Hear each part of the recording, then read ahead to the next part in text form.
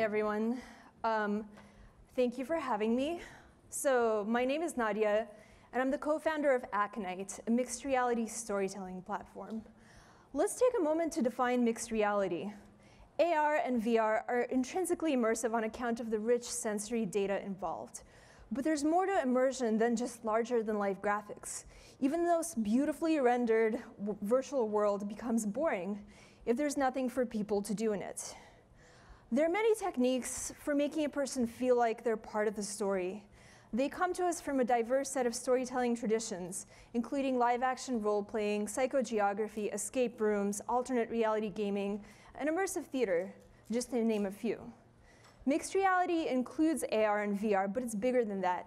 It's any technique that blurs the line between reality and fiction, and that's what we're interested in at Aconite. So when my co-founder Star, who's sitting right there, and I launched the company last fall, it was a more innocent time. Then the election happened.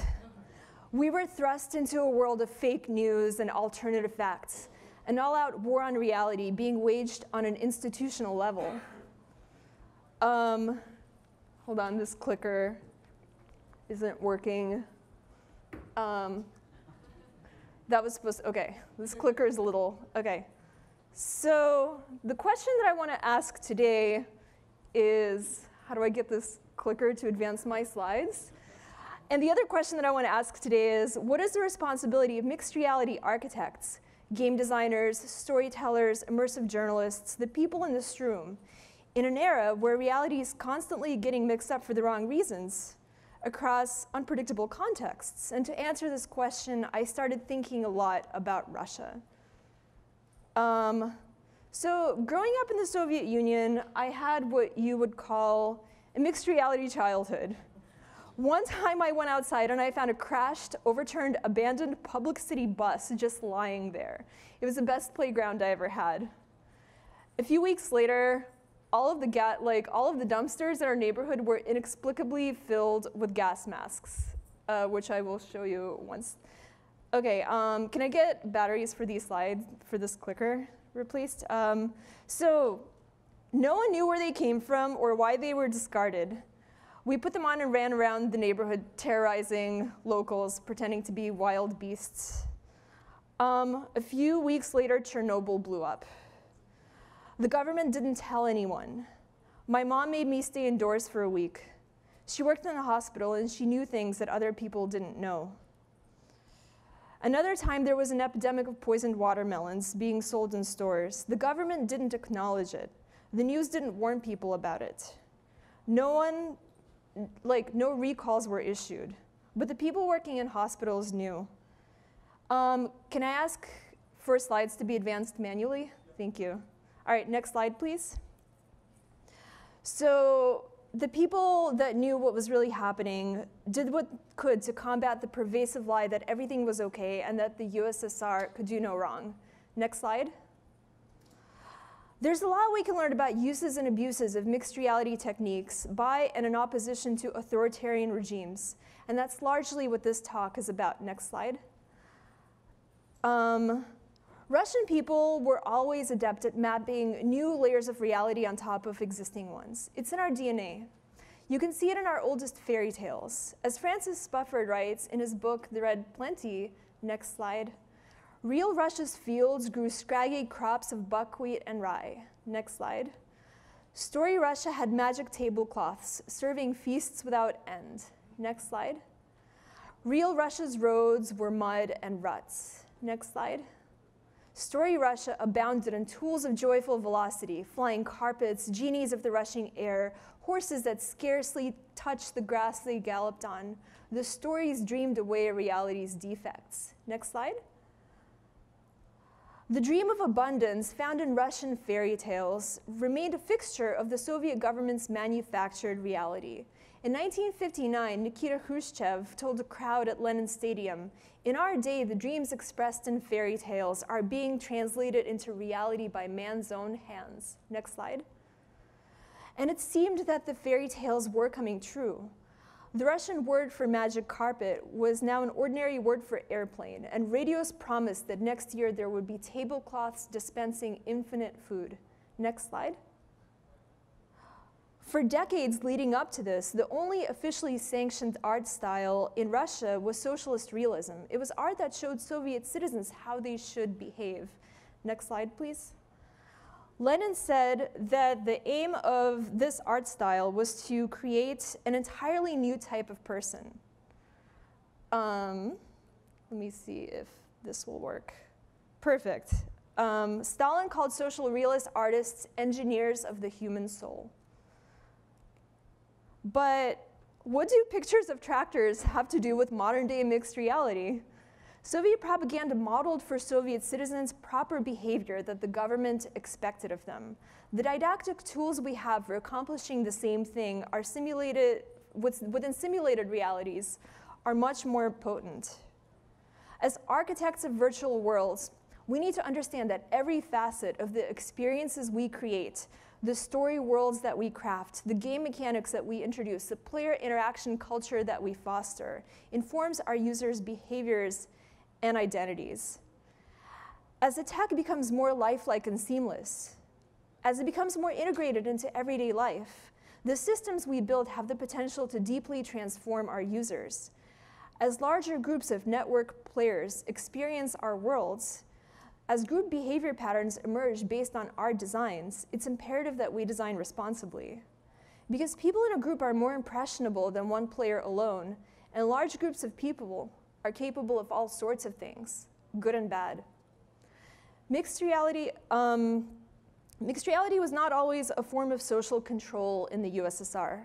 Sometimes it was a form of resistance. It's no coincidence that one of Russia's most groundbreaking works of protest literature, The Master Margarita, has fractured reality as one of its central themes.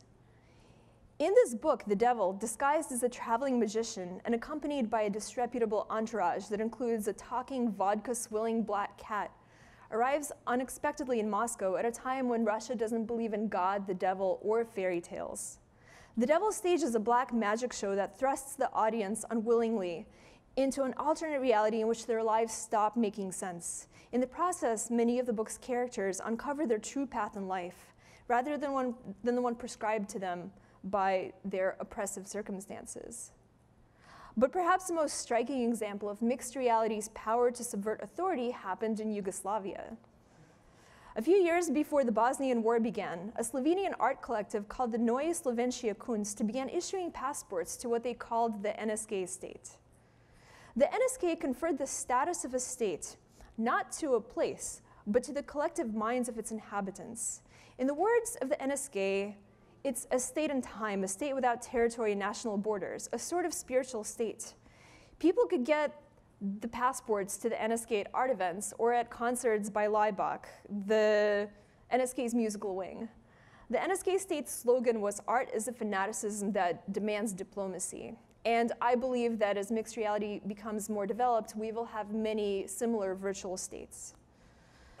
So when all hell broke loose in Bosnia and Herzegovina, there was a period when people with Bosnian passports were not being allowed out of the war zone. There are reports of cases when border officials, whether, like whether sympathetic, drunk, bribed, or themselves NSK citizens, stamped people's NSK passports at checkpoints and allowed them through when their Bosnian passports were considered null and void, helping them to escape the war zone. So this piece of paper representing an imaginary state saved lives when official government documents failed. We're living in a time when such abstractions are increasingly reshaping the physical world.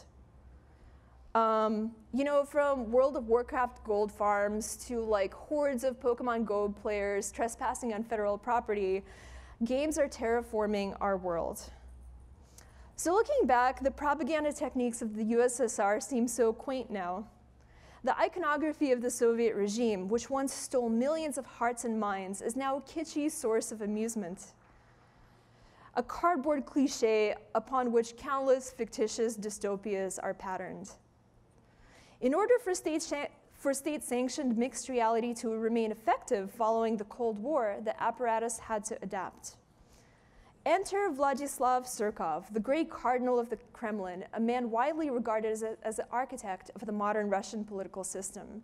Since assuming office in 1999, Surkov has been the show showrunner of Russia's reality. He personally curated what was allowed on Russian television, bringing in neuro-linguistic programming experts and importing top Western reality television producers to create a well-oiled propaganda machine. He created fake opposition parties and even funded real ones, making sure that they got ample screen time to create the illusion of dissent.